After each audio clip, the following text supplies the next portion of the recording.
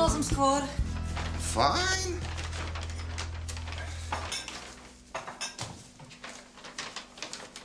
Ty si kúpil na večeru kúra? Nie, nie. Mrazané lazane. Hm. Takže kúra dám do mrazničky? Môžu nechať vonku, zajtra z ňou spravím perťat. Kúpil si ten brusnicový džús? Aký džús? Majko, poprosila som ťa o to. To ti mám všetko písať na čelo? Robím si srandu. Tram tadada. Prosím, jeden džúsik. No už som sa zľakla. Nedôveruješ mi, čo? Občas.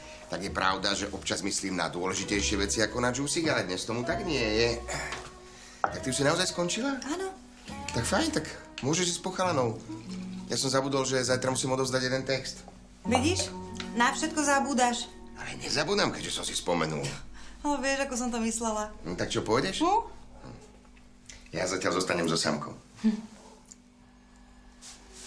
Ktorý si Samko? Čo, Samko? Zabudol som ho v potravinách.